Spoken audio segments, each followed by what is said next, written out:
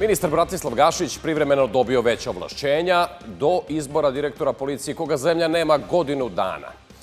Siniša Mali opoziciji, koliko radite protiv svoje zemlje, možda vas neko verovatno i plaća za to. Pokrenuta interpelacija za smenu ministra financija. Funkcioner SNS-a Relja Ognjenović predložen za direktora fonda PIO. Pravo na dom proglašeno ustavnim pravom, presedan ili pravilo u daljem radu javnih izvršitelja. Počinje marker.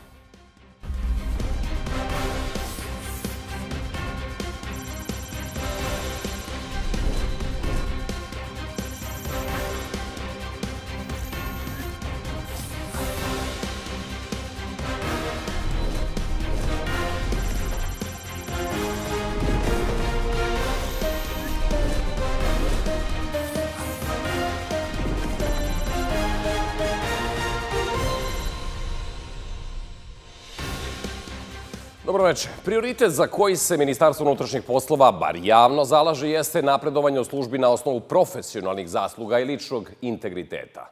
U praksi je bitno drugačije. Srbija već godinu dana nema direktora policije. Umesto da raspiše konkurs, vlada je našla privremeno rešenje. Do 1. marta ovlašćenja direktora policije preuzima ministar Bratislav Gašić ili rukovodilac u direkciji policije koga on odabere. Zašto su se odlučili na taj korak iz vlade Srbije, nisu odgovorili televiziji Insider. Pre nedelju dana vlada je u uredbi o specijalnim i posebnim jedinicama policije dopisala jedan član i njime izmenila suštinu. Kadrovske odluke i rešenja koje treba da donosi direktor policije donosit će resorni ministar ili rukovodilac u direkciji policije koga on ovlasti.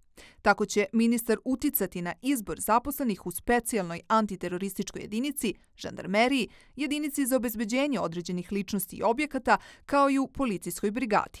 Obrazovaće komisije za izbor kandidata, ali će istovremeno imati i poslednju reč u odabiru kandidata. To da vi sad intervencijom u tekst uredbe, u tekst podzakonskog akta zapravo bitno menjate poziciju direktora policije, uzimaju neka ovlašćenja koja su prirodna po zakonu, to je pravno krajnje problematično. Dakle, vi jedan odnos koji bi trebao da bude posledica zakona, menjate aktom niže pravne snage, a to je, to je uredba. To je direktna poruka da se jedna koncepcija koju zakon izražava, možda ne do kraja dosledno, možda ne potpuno, nije to idealan zakon, ali ipak izražava, to je priča o depolitizaciji policije, dakle priča o tome da policijom treba da rukovode profesionalci a ne ovaj, političari, očigledno napuštaju. Dakle, ne znam da li trajno ili privremeno, ali kako god bilo, to svakako nije dobro. Dok se u Srbiji, kako kažu nadležni, sprovodi jedna od najvećih akcija protiv organizovanog kriminala, policija nema prvog čoveka već godinu dana, od kada je penzionisan Vladimir Rebić. Konkurs za njegovog naslednika nije sproveo bivši ministar Aleksandar Vulin, a na taj potez nije se odlučio ni sadašnji ministar Bratislav Gašić. Direktora policije Srbija neće dobiti bar još četiri meseca, jer će, kako novo usvojene izmene propisuju, do 1. marta prvi operativac policije biti neko drugi.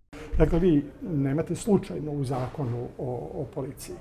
Dakle, čitav niz rešenja, ne samo one koje definiš direktora policije, nego i čitav niz rešenja vezane, recimo za upotrebu specijalne jedinica, posebne jedinica, žandarmerije i tako dalje, da je potpuno jasno da zakon insistira na tome da su ovlašćenja podeljene neka ovlašćenja ima direktor, ali ima obavezu da pribavi saglasnost ministra ili ima obavezu da ga, da ga obavesti i slično. Ali nigde nemate u zakonu, dakle, koncept u kome su sva ovlašćenja u rukama jednog čovjeka.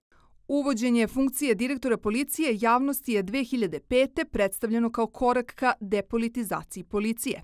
17 godina kasnije, umesto imenovanja novog, vlada se odlučila da proširi ovlašćenja ministru unutrašnjih poslova. Vreme prolazi, dokazi vlede, ali se ne smanjuju otpori tajne službe da se suoči sa zločinima 90-ih.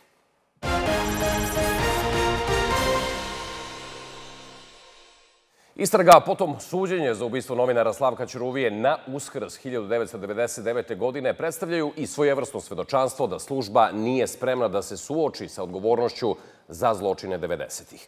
Dokazi o obstrukciji su brojni. O njima je, između ostalog, u intervju za Insider sinoć govorio Predrag Simonović, bivši inspektor službe za borbu protiv organizovanog kriminala i nekadašnji član radne grupe za rešavanje ubistava novinara.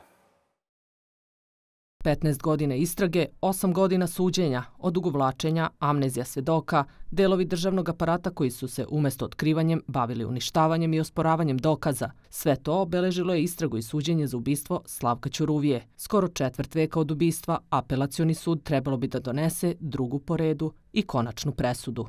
Ovom presudom, ako bude potvrđena kazna zato, otvara se Pandorina kutija. Šta su Šta su radio radne grupe pre toga? Šta su radio i ti ljudi koji su radio? Koji njima branio da pričaju sa ljudima? Kao? Znači, da li oni to nisu mogli da završe taj predmet zbog obstrukcija? Suđenje su obeležile brojne obstrukcije koje mogu da se objasne samo otporima delova službe i pojedinaca u državnom aparatu. Sud je dugo oklevao da pozove za svedoka Dragana Kecmana, inspektora koji je taj zločin istraživao od prvog dana i koji je bio član Komisije za istraživanje ubistava novinara. Svedočio je tri i po godine nakon početka procesa. Njegov kolega Simonović u Insider intervju naveo je da je Kecmanu bezbednost bila ugrožena bar dva puta. 2006. operativnim radom su saznali da se tokom jednog susreta bivših i aktivnih pripadnika službe čulo da Kecmana treba oladiti otkriva i šta se dešavalo 10 godina kasnije, 2016. kada je Kecman smenjen sa mesta načelnika uprave kriminalističke policije u Beogradu. Komisija uputi dopis MUP-u, odnosno analitici, da dostave radnoj grupi taj podatak koji se odnosi na to da vidimo ko je sve ugrožen. Znači, kud je ugrožen Kecman, ugroženi su i mi oko njega, kolateran šet. Znači, da vidimo ko, ko se sprema, šta se sprema, zbog čega. Mhm. I od MUP-a dobijam odgovor da ne postoji takav podatak da ga nema u analitici. Mi sad ono sluđeni kao, ima. Onda mi nabavimo taj papir i odnesemo i kažemo, imate ovaj papir? I oni kažu, imamo, bila je greška. I onda u tom momentu je nama sve bilo jasno. Ostaće upamćene odluke suda u vezi sa delom traka sa podacima baznih stanica o kretanju i komunikaciji optuženih u vreme zločina. Specijalni sud je ove ključne dokaze najpre odbacio, Apelacioni sud ih je vratio u postupak, specijalni ponovo odbacio, apelacioni ponovo vratio. Podsjetimo, odmah posle ubistva Slavka Ćuruvije sumnjalo se da iza tog zločina stoji DB, ubijeni u vreme NATO bombardovanja, kada je u zemlji vladalo vanredno stanje. Samo mesec dana posle petooktobarskih promjena 2000. godine u javnosti je izašao dosije Ćuran, dokument državne bezbednosti o praćenju Ćuruvije. Dva dana u oči ubistva pratili su ga pripadnici Beogradskog DBA, a naređeno im je da se povuku pet minuta pre nego što je pucano na Slavka Ćuruviju. Neposredno pre ubistva, Slavko Ćuruvija je putem državnih medija obeležen kao izdajnik. Svojevrsna najava ubistva usledila je 6. aprila 1999. godine u politici Ekspres, kada je objavljen tekst Ćuruvija dočekao bombe. Ispostavit će se da je napisan po nalogu Mirjane Marković, a pročitan je i u dnevniku RTS-a. Ja sam citirao reči tužioca Milenka Mandića koji je rekao u nekom svom izlaganju ovaj, krajnje ljudski, a opet krajnje pesnički, da je Slavko Ćuruvija morao biti uklonjen da zrno pobune koje on predstavlja ne proklija, da drugi uspešni ljudi ne bi poput Ćuruvije otkazali poslušnu sistemu.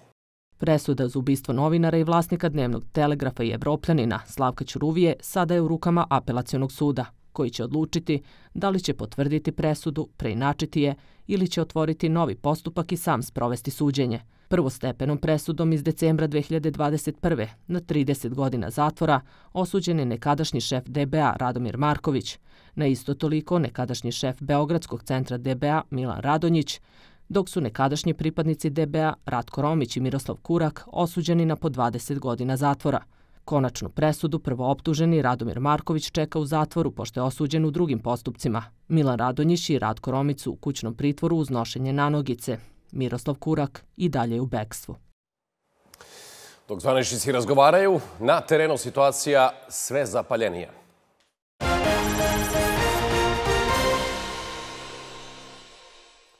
U danu kada je Brisel pozvao predsjednika Srbije i kosovskog premijera na novi sastanak, datum još nije određen, u Beogradu su o tome razgovarali srpski predsjednik Aleksandar Vučić i američki ambasador Christopher Hill.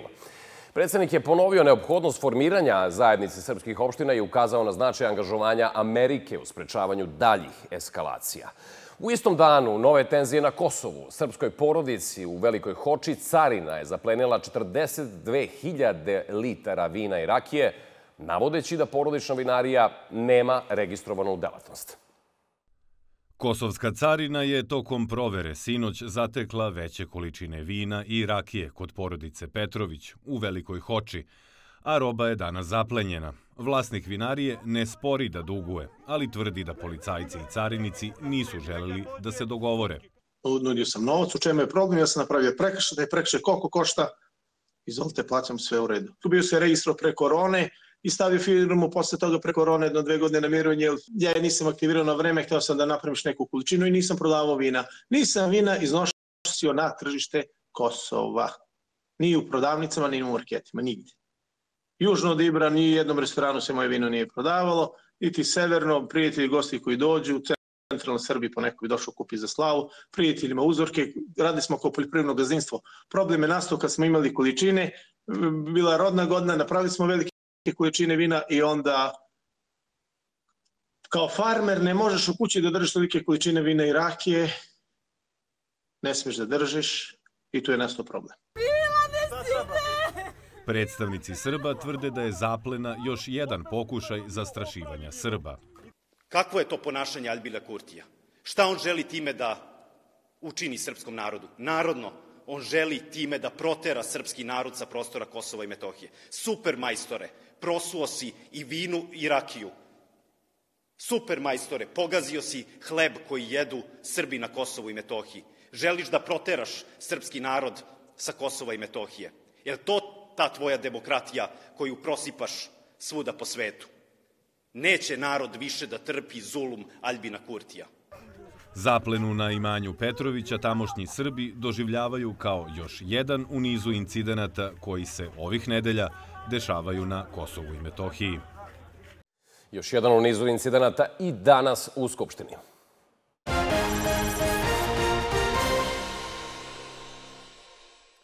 Više nego burna sednica u parlamentu, gde se raspravlja o budžetu za sledeću godinu, još 30 tačaka. Posle optužbe ministra financija na račun opozicije, Deo opozicijonih poslanika najavlja postupak interpelacije. Reč je o ustavnom pravu u kojem najmanje 50 poslanika može da pokrene smenu vlade ili nekog njenog člana. Jeste vi svesni šta radite? U dodatno uz to širite defetizam. Kažete naši pripadnici vojske odlaze, neće da se bore, neće da štite našu zemlju. Jeste brevi ljudi svesni šta radite? Jeste vi svesni koliko ne samo da lažete, nego koliko uništavate svoju zemlju, koliko radite protiv svoje zemlje. Pa kao da vas neko stvarno, verovatno, i plaća da to radite. Treba da vas je sramota. Treba da vas je sramota. Dakle, on je izjavio za poslanike, narodne poslanike, da su lažovi, da su strani plaćanici i održao im lekciju i da su izdajnici, da radimo protiv svoje zemlje. Tražit ćemo od vlade da se izjasni Da li su ovi stavovi koje sam vam pročitao lični stavovi ministra financija i potpredsednika vlade Siniše Malog ili je to i stav vlade? I a, tražit ćemo da bude ili razrešen ili da podnese ostavku. Kada se pokrene interpelacija, vlada ili njen član imaju rok od 30 dana da se o tome izjasne, a o njihovom odgovoru potom raspravlja i glasa Narodna skupština. Ukoliko prihvati odgovor, Skupština nastavlja da radi normalno, u suprotnom pada vlada, odnosno u ovom slučaju smenjuju ministra. O, a ono o čemu se ovih dana govorilo, insajderu je danas zvanično potvrđeno.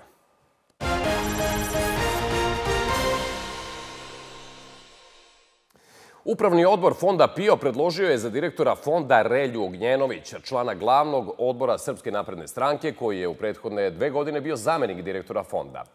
To je za Insider potvrdio Milan Nenadić, član Upravnog odbora PIO Fonda. O tom predlogu treba da se izjasni vlada Srbije. Prethodno je Relja Ognjenović sa zvanjem sportskog fizioterapeuta bio zadužen za saobraćaj u gradskom veću opštine Voždovac.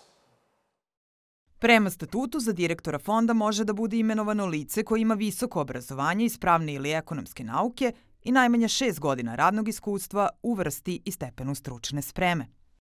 U poslednjoj dostupnoj biografiji 32-godišnjeg Relje Ognjenovića, koja se i dalje može naći na sajtu opštine Voždovac, navodi se da je Ognjenović 2012. završio visoku sportsku i zdravstvenu školu, smer strukovni fizioterapeut, a 2015. godine i Visoku školu za poslovnu ekonomiju. U biografiji ističe da posjeduje dva sertifikata. Jedan ekonomskog fakulteta i jedan Ministarstva omladine i sporta.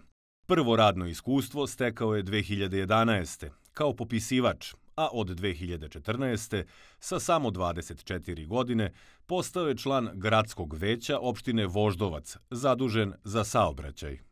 Iz opštine Voždovac, Relja Ognjenović je u fond PIO došao na poziciju zamenika direktora 2020. i od tada umesto direktorke Dragane Kalinović potpisuje većinu ugovora i odluka fonda. Ognjenović je član glavnog odbora Srpske napredne stranke, istovremeno i član nadzornog odbora Futbolskog kluba Rad.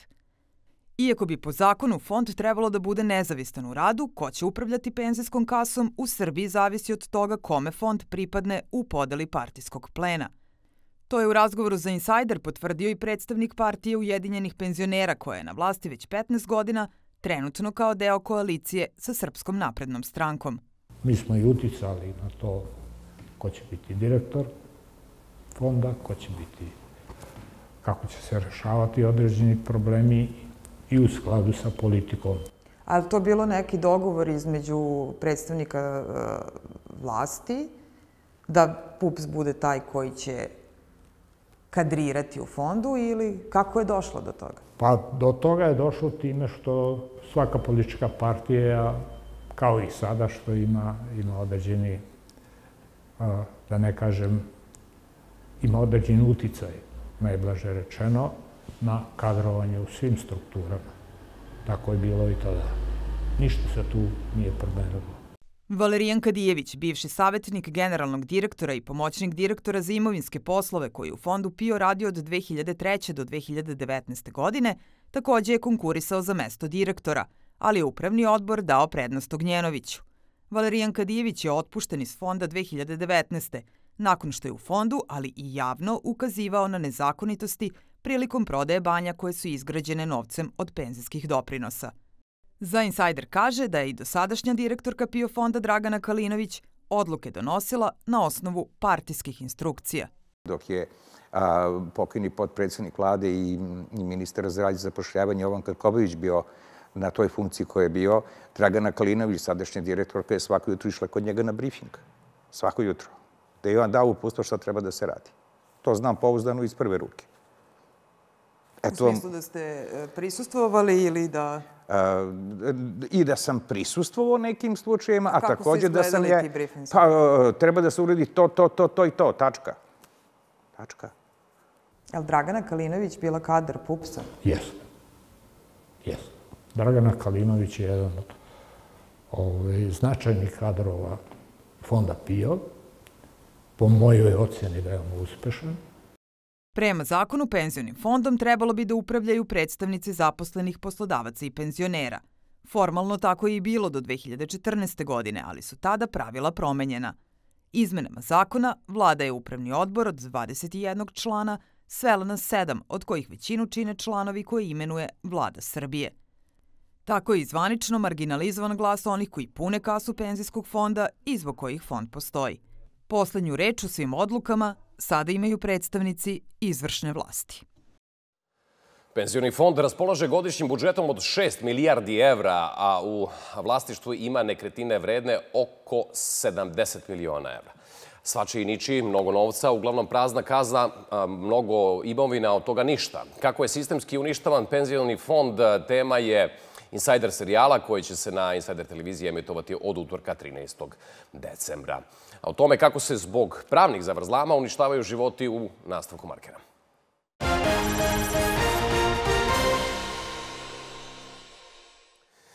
Od 2011. godine, kada su uvedeni javni izvršitelji, sprovedeno je oko 3 miliona postupaka izvršenja. Najmanje je prinudnih iseljenja, a to su postupci koji izazivaju najveću pažnju javnosti. Krajem novembra Dobrila Petrović i njena porodica vratili su se u stan iz kojeg su prinudno iseljeni 2017. godine. Njena pet godina duga borba okončala se nakon što je Ustavni sud ocenio da je povređeno pravo na dom. Njen slučaj daje nadu mnogima da će i njihovi postupci biti okončani na sličan način.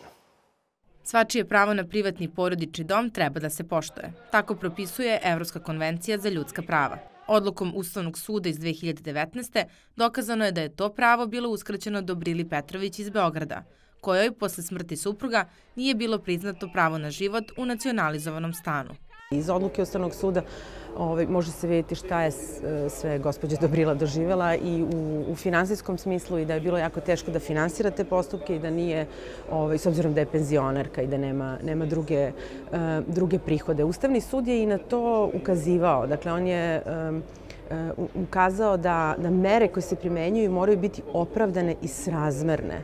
Dakle, srazmerne u odnosu na situaciju u kojoj se nalazi osoba koja, da, da tako kažemo, trpi mere.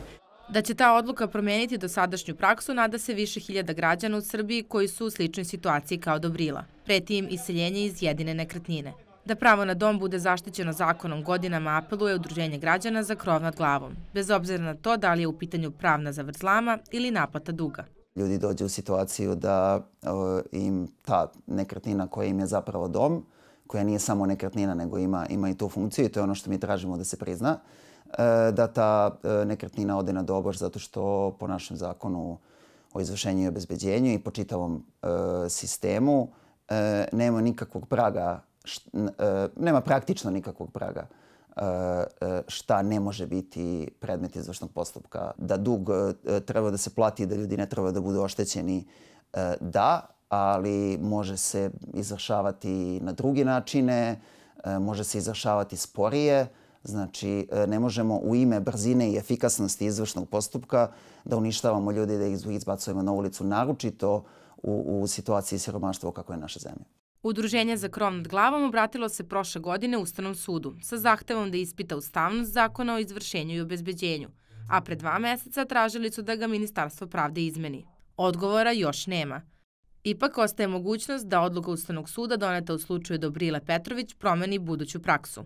Pravno gledano te odluke imaju dejstvo samo u konkretnom slučaju, međutim imajući u vidu ulogu Ustavnog suda, o, njegove odluke imaju uticaj i na one koji donose e, e, druge državne organe, kao što sud, sudovi i kao što bi između ostalog trebalo da budu izvršitelji, ali ima uticaj i na zakonodavca. I, I dešavalo se i ranije da su određene odluke Ustavnog suda, koje su takođe donesene, donošene u pojedinačnim slučajevima, uticale na izmenu zakona.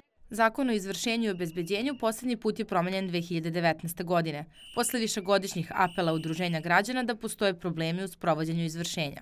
Tada su donete i neke za građane pozitivne izmene, poput one da se ne može oduzeti jedina nekretnina ako je dug manji od 5000 evra, a tiče se komunalnih i srodnih dugova. Međutim, Udruženje za krov nad glavom tvrdi da to nije dovoljno i zahteva potpuno ukidanje javnih izvršitelja i vraćanje izvršnog postupka u nadležnost suda. Gost Markera je zamenik predsednika Komore javnih izvršitelja Vujadin Masnikosa. Dobro večer. Dobro večer. Hvala što ste sa nama. Evo, posle pet godina Dobrilo Petrović a, vratila se u svoj stan i to posle odluke Ustavnog suda. A, ako je Ustavni sud poništio sve odluke protiv Dobrile Petrović, vođene od 2012. godine, gospodine Mastikosa, da li će neko od izvršitelja u, u, u tom postupku a, biti predmet kontrole i utvrđivanja odgovornosti eventualno? Svakako da neće, zato što načelo vladavine prava podrazumeva, a to je jedno od osnovnih temeljnih načela našeg ustavnog pravnog sistema, sistem podele vlasti na, ustavnu, na zakonodavnu, izvršnu i sudsku. U konkretnom, znači u konkretnom slučaju znači da je javni izvršitelj bio dužan da sprovede pravnosnažnu sudsku odluku. U slučaju Dobrile Petrović doneta je pravnosnažna sudska odluka i u svakoj civilizovanoj državi, evropskoj, u američkim državama, bilo gde, sudska odluka mora da se izvrši. Iako smo u civilizovanoj državi, čija je onda odgovornost što je nekome najpre oduzet, pa onda vraćan stan? Svakako treba postaviti pitanje donosilaca tih sudskih odluka koji su doneli takve odluke. Ja bih napomenuo da taj sistem vladavine prava podrazumeva i da Ustavni sud u praktično poslednjem stepenu pruža građanima ustavno-pravnu zaštitu. Ustavni sud je u ovom slučaju utvrdio da je došlo do povrede jednog od temeljnih ustavnih uh, prava građana. A podsjetimo se da Ustavni sud praktično predstavlja poslednju barijeru uh, i odbranu osnovnih ljudskih prava. Ko će onda odgovarati što su osnovna ljudska prava Dobrile Petrović prekršena?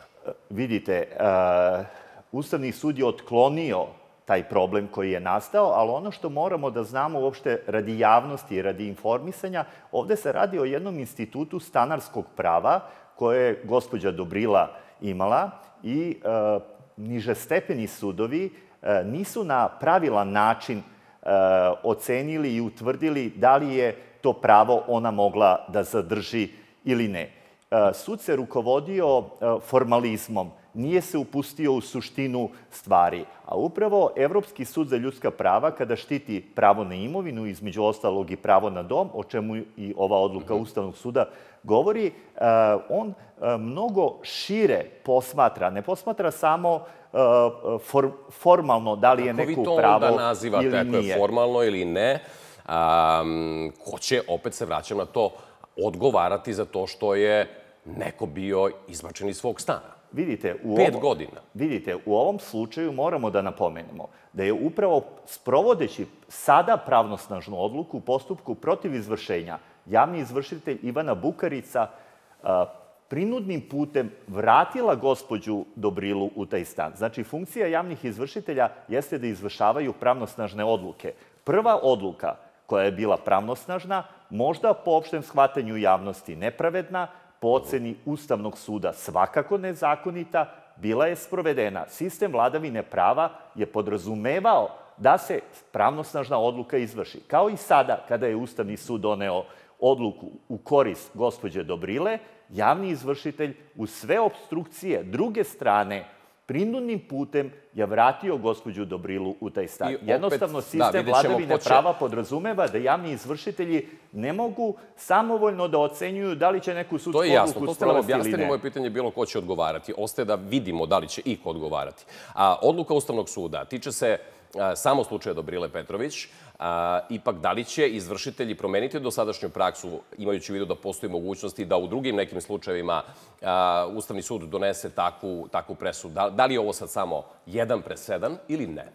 A, to je svakako pitanje da li će sudovi promeniti praksu suđenje, da li će sudovi a, primeniti pravila koja su sadržana u ovoj odluci i pravna, tako da kažem, shvatanja koja su sadržana u ovoj odluci, a javni izvršitelji će nastaviti da izvršavaju sudske presude i uopšte u izvršenju, izvršenje je ogledalo celokupnog pravnog sistema i ta odluka možda je izazvala takvu pažnju e, javnosti zato što je e, bila propraćena u medijima, ali brojne sudske odluke Svakako. Pitanje koliko takvih odluka Svakako, ima. Svakako i mislim da je važno da se e, proprati i činjenica da je ponovo javni izvršitelj postupajući po e, pravnosnažnom rešenju o protivizvršenju uselio gospođu Dobrilu uh mhm. -huh. takođe prinudnim putem e, u stan u kome je utvrđeno da je došlo do povrede njenog da, prava. Pitanje je da li mora uopšte nešto da dođe do medija da bi, da bi sistem reagovao. Svakako, s tim Dobrila, se slažemo. Dobrila je mogla da se vrati u ovom slučaju u svoj stan.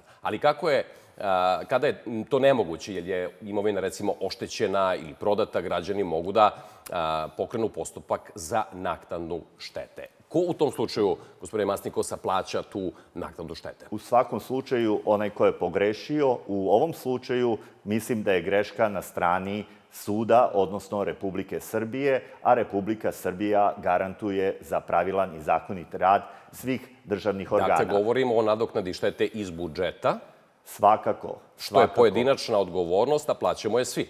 E, svakako, e, sistem pravne države podrazumeva da građani ne mogu da ostanu da tuže nekog e, pojedinca ako je odluka doneta u ime države. I morao bi da napomenem da slučaj Dobrile Petrović nije završen. Mhm. Sada se postupak vraća na ponovni no suđenje onom istom veću koje je donelo tu nezakonitu odluku i iskreno se nadamo da će sada veće poštovati pravno shvatanje Ustavnog suda i napomenuo bi da je ovaj slučaj rešen na teret ranijeg vlasnika stana, jer gospođa Dobrila bila je nosilac stanarskog prava stanu koji je u privatnoj svojini.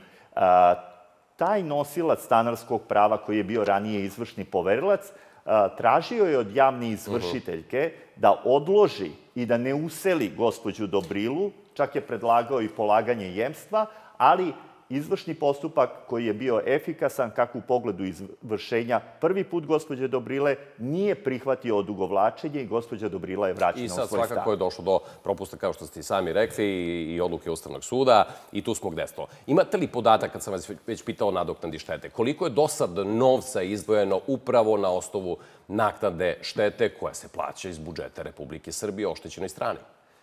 Vidite, to su podaci kojima raspolaže sigurno Ministarstvo pravde, a ne Komora javnih Vi niste upoznati sa tim? Mi nismo, zato što izvori štete postoje na strani raznih državnih organa. Država garantuje uh, građanima za rad svih državnih organa.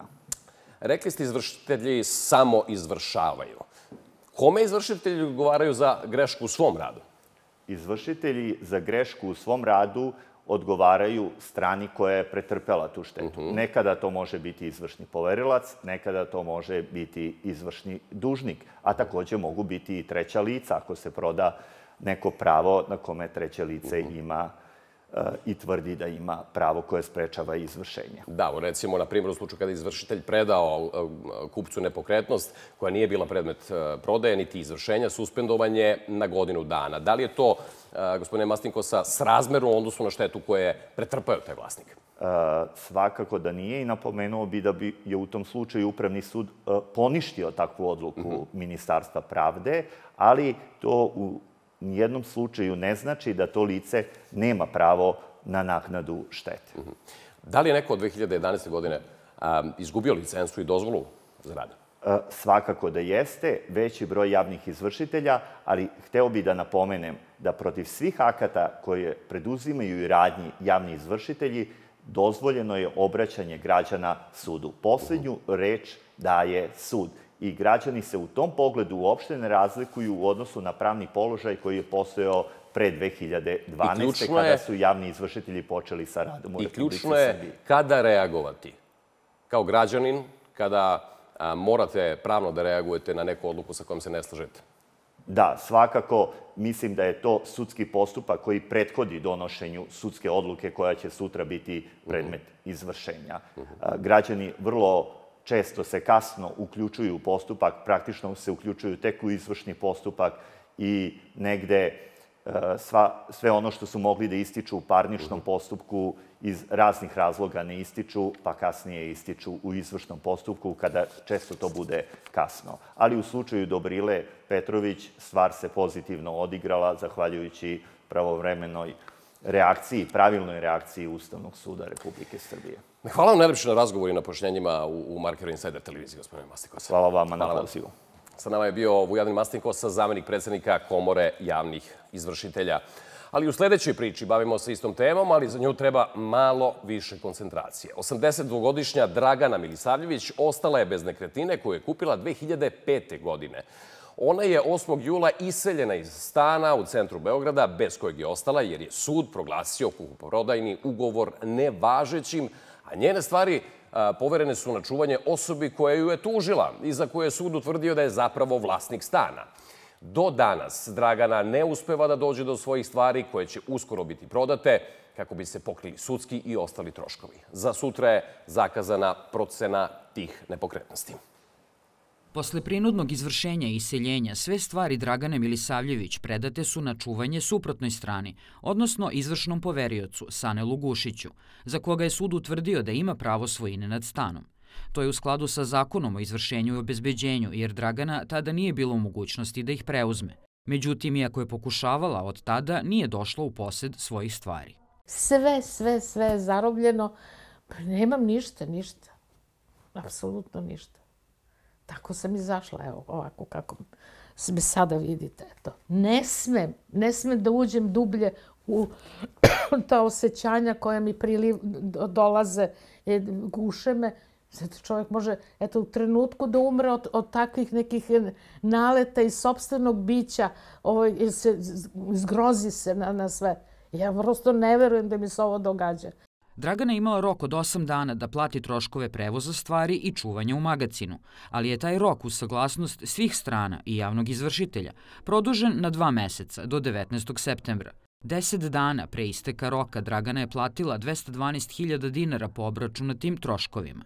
ali stvari nije dobila. Nije imao pravni osnov da drži te stvari jer su uplaćeni troškovi čuvanja stvari i kada se uplate ti troškovi predaju izvršnom poveriocu, on više nema osnova da drži te stvari. Među vremenu, dok smo mi se tako obraćali sa zahtevima da nam se predaju stvari, on je podneo zahtev za naknadu troškova, znači njegovi troškovi da se namire, tako što će se prodati te stvari koje se nalaze u magacinu, Draganine, i od toga da se namiri taj njegov iznos dugovanja koji ima u izvršnom postupku. Nemojte misliti da je bilo kome sa ove strane, odnosno mom klijentu Sanelu Gušiću, a ni meni, na bilo koji način stalo do Draganinih stvari. Apsolutno nam nije stalo do Draganinih stvari, ali nam je stalo da zaštitimo naše interese, odnosno interese klijenta. Ja ih nikako ne mogu držati nezakonito, jer ne bi izvršiteljka donosila zaključke sada, znači e, zaključak je donet pre 10 dana, ponovo o popisu i proceni, I sutra imamo zakazan popis i procenu ove, njenih stvari. Ako sam ja u zabludi, nije valjda izvršiteljka u, u zabludi. Advokati Dragane Milisavljević podneli su prigovor Prvom osnovnom sudu protiv rešenja javnog izvršitelja, kojim se nastavlja izvršenje, jer smatraju da je nezakonito nastavljen postupak pre isteka vremena i bez saglasnosti svih strana. Tako da čekamo sada izjašnjenje da vidimo šta će biti sa tim prigovorom, šta će sud da odluči. Ali u svakom slučaju i kako god da, da prošao taj prigovor, mi svakako imamo pravo da podnesemo tužbu, da zahtevamo za te stvari, bar one koje su ovaj, izuzete do izvršenja da ne mogu da se tamo ovaj, drže i da, da je dužan ukoliko čeka nastupila šteta, da izvršni povjeralac nadoknadi tu štetu Dragani. Ceo život su mi ovaj, zarobili, razorili su mi potpuno život. Dragana Milisavljević, koja trenutno živi kod prijatelja, zbog uknjiženog stana koji je izgubila na sudu, tužila Republiku Srbiju i čoveka koji je prodao nekretninu. Postupak je u toku. I dalje građani protestuju u Iranu, ali proteklih meseci nisu bili toliko u fokusu. Do danas.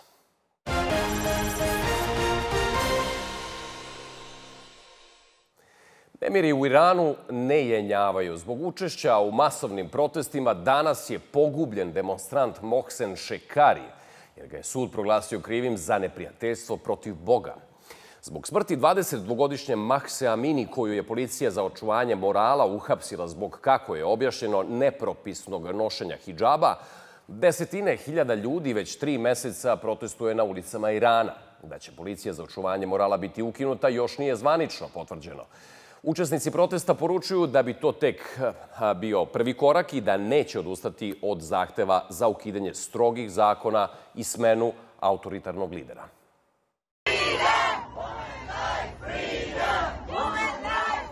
Među vestima koje proteklih meseci dolaze iz Irana, redko koja je proverena.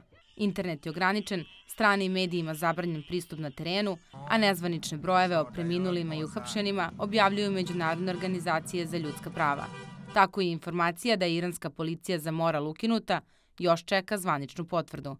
O brutalnosti policije svedoči i Iranka koja je pre tri godine napustila Iran. Tamošnje proteste posmatra iz Beograda. Mi smo stvarno ljuti, jer svako od nas može biti ta devojka. Svakog od nas policija za moral je bar jednom upozorila. Bili smo hapšeni.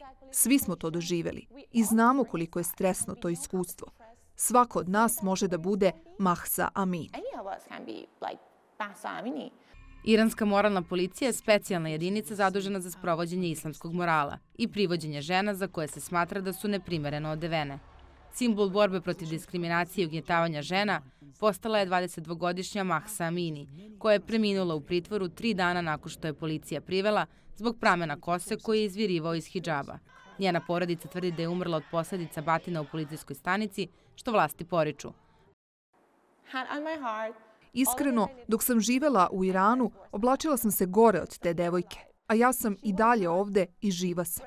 Ona nije bila loše obučena. Jedini problem je bio taj što je jedan deo njene kose bio vidljiv. Ali ipak, čak i da je sva kosa vidljiva, vi nemate pravo da udarate jedno ljudsko biće. Njihovo očekivanja da imaju ista prava potpuno kao muškarci i da žive mnogo više na način na koji se živi u zapadnom svetu, da imaju tu vrstu slobode, a, sigurno su na neki način opravdana. I s te strane jeste ovo iznenađenje da su žene, odnosno ženska prava, izbila u prvi plan u ovim protestima. A, mada se meni čini da to nije neuobičajeno. Žene vrlo aktivno učestvuju u političkom životu u Iranu. Kada pričamo o ranijim demonstracijama, žene su takođe učestvovale i na njima. Smrt Mahsa Amini pokrenula je masovne proteste širom Irana ali je nezadovoljstvo naroda uzrokovano i siromaštvom, nezaposlenošću, nejednakošću. A, ako kažemo sada da su se ujedinile neke stvari i ta velika ekonomska kriza, dve godine covid kada je bilo i restrikcija, jako mnogo ljudi je umrlo, onda je ovaj događaj bio neka vrsta varnice koja je pala u neko, hajde ja kažemo, u neku suvu travu nezadovoljstva i zato je eksplozija bila toliko jaka. Why these many people are dying every day? Zašto ovoliko ljudi umire svakog dana? Nije samo zbog policije za moral ili obaveznog nošenja hidžaba. Postoji korupcija u vlasti, egzekucije, dečiji brakovi. Postoji forsiranje ljudi da svakog dana rade stvari koje ne žele. Postoje mučenja, ali iznad svega je teokratija. Ljudi ne žele to. Ljudsko biće u 21. veku želi da živi u demokratskom društvu. Prema poslednjim dostupnim podacima, tokom protesta u Iranu ubijeno je više od 500 osoba, a povređeno više od 1000. Među nezvaničnim brojevima je i onaj od desetinama učesnika protesta osuđenih na smrtnu kaznu. O nastavku o ubistvu koje je potreslo svet pre 42 godine.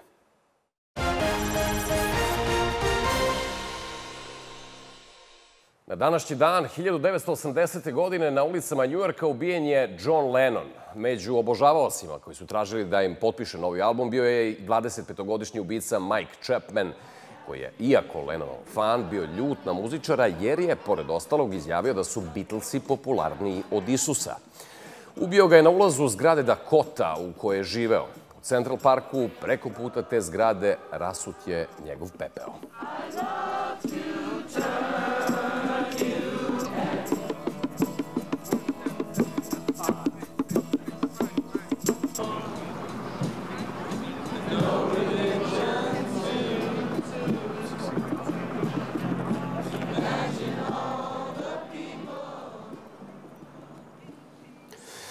O 19.50 na Insider televiziji gledate dokumentarne filme Na polju o 13-godišnjem dečaku u Ukrajini koji postaje poznato lice i maskota revolucije 2014. godine. Od 22 sata na programu Insider debata sa Suzanom Trninić može li dostojanstven rad, dostojanstveno i da se plati? Gledali ste Marker. Thank